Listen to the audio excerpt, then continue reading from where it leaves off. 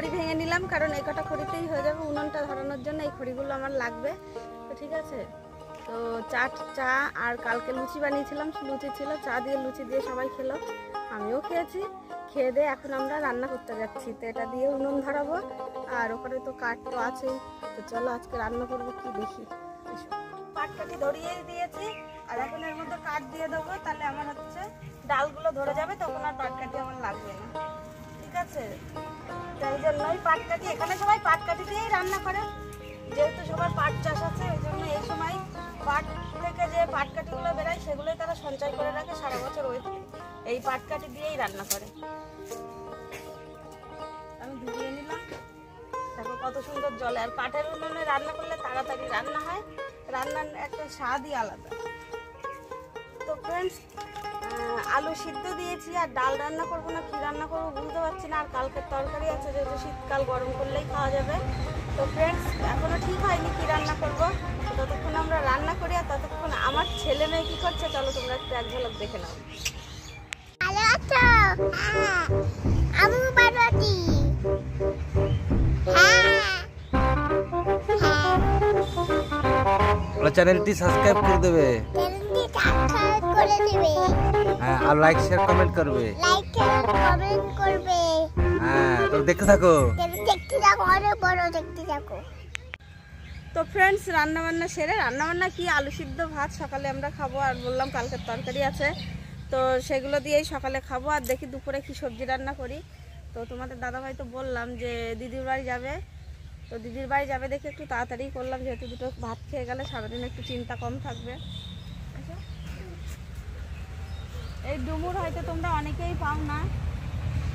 এই ডুমুর কিন্তু খাওয়া খুবই উপকার।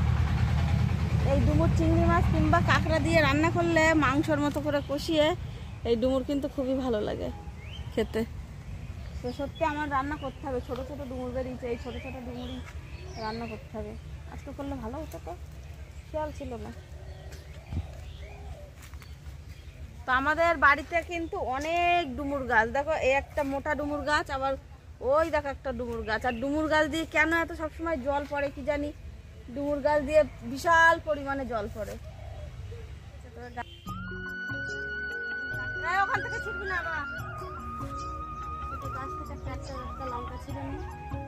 লঙ্কা।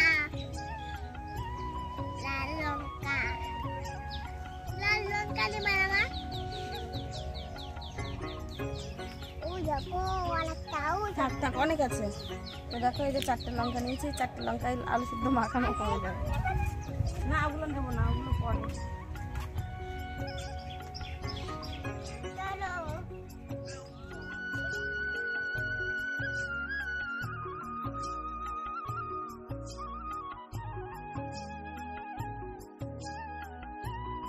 ফ্রেন্ডস দেখো আমার হচ্ছে আলু সিদ্ধ, এই যে মাখানো কমপ্লিট হয়ে গেছে, আর এই যে কালকের তরকারি তোমাদের দাদা ভাইকে আর আমার ছেলেকে দিয়েছি, তো এখন আমরা খাওয়া দাওয়া করব।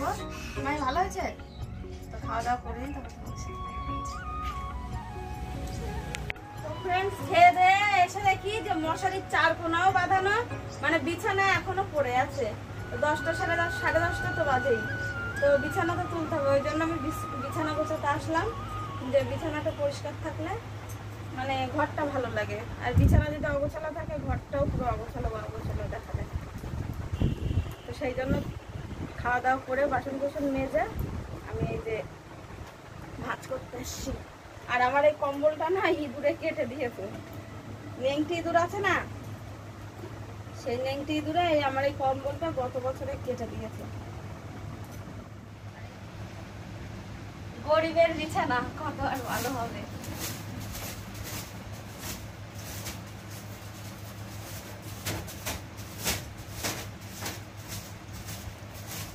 আর আমার মেয়ে ইদানিং শীত পড়েছে বলে, আবার বাথরুমও করছে বিছানায়। তো দেখি কালকে অনেক রাত্রে তুলেছিলাম, আজকে আর করেনি। তো এখন কিছু জামা কাপড় আছে, সেগুলো একটু গুছিয়ে নেব। দেখো চারিদিকে মানে একেবারে বিচ্ছিরি ব্যাপার হয়ে থাকে। তো বন্ধুরা, বাচ্চাদের জিনিসগুলো এই বালতির মধ্যে রাখব। এই বালতিটা আমি দুটো পুরনো শাড়ি দিয়ে কিনেছি। যেহেতু সবাই আসলে স্নান করতে, আমাদের বাইরেও বালতি আছে ওই বালতিটা কেমন আমাদের কলের জলে আয়রন না? আয়রন পরে কেমন লাল লাল ভাব হয়ে যায়। ওই জন্য ওই বালতিতে স্নান করতে সবাই ঘৃণা পায়। ওই জন্য এই বালতিটা রেখেছি, সবাই আসলে এই বালতিটা দিয়ে স্নান করবে। আর একটা মগও নেব। তো শাড়ি আছে ঘরে, আমি নিই নি, যেহেতু মার কাছে না জিজ্ঞেস করে নেব না। ওই জন্য নাহলে আর একটা মগও নিয়ে নিতাম। এই এই যে গামলাটা দেখতে পাচ্ছি, এই গামলাটাও আমি শাড়ি দিয়েই নিয়েছি। কিন্তু একদিন একটা পচা বিড়াল ঢুকেছিল ঘরে, লাঠি দিয়ে তাড়াতে গিয়ে আমি ভুল করে আমি এই গামলার উপরে বাড়ি দিয়ে ফেলেছিলাম। তো সেই জন্য আমার এটা ভেঙে গেছে। আর ভাবছ যে এত জামা কাপড় কিসের? এই জামা কাপড়গুলো শীতের পোশাক। তো বার করেছিলাম। বার করে না ধুয়ে তো আর বাচ্চাদের গায়ে দেওয়া যাবে না। ওই জন্য ধোয়া হয়নি দেখে এখানেই এই এই গামলাটার মধ্যে রেখে আমি এখানটায় রেখেছি। আর এটা কি বলতো? আমাদের স্টোর রুমের মতো একটা জায়গা। মানে যাবতীয় যা আমাদের থালা বাসন আমরা ঘরেই রাখি না। আমরা এই সাইডে এই যে গরিব মানুষের যেমন থাকে তো আমরা এই সাইডেই রাখি। আর এটা এটা দেখো, তোমাদের দাদা ভাই আগে মেশিন করতো, ঠিক আছে? চুড়িদার, তারপরে পাঞ্জাবি এইসবগুলো করতো এই মেশিনটাতে তো এখন এই মেশিন চালাই না, তো ভাবছি যে এই মেশিনের কাজ এবার আমি আবার শুরু করব। তো সারা দিন বন্ধুরা, এই ঘর বাড়ি পরিষ্কার করে পারা যায় না। আগেই বললাম যে আমাদের রাস্তার সাইডে বাড়ি পাউচো করো। রাস্তার সাইডে বাড়ি মানে গাড়ি ঘোড়া যায় আর শীতকালের সময় প্রচুর ধুলো ওড়ে, কারণ টানের সময় তো দেখো কত নোংরা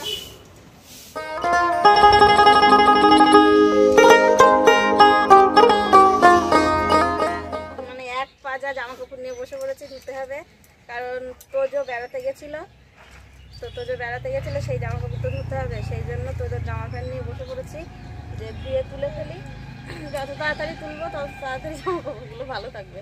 নাহলে আমাদের ঘরে না পিঁপড়ে আছে গুড়ি গুড়ি পিঁপড়ে। সেই পিঁপড়েগুলো না জামা কাপড় ফুটো ফুটো যে কোনো জিনিস দিবি না এর মধ্যে। আগে ভালোগুলো, তারপরে।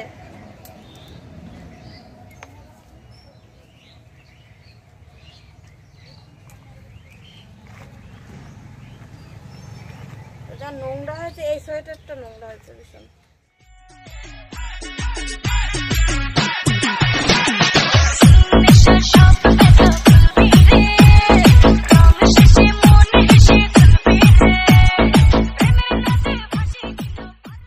এখন তো সব কিছুই কাঁচা হয়ে গেছে।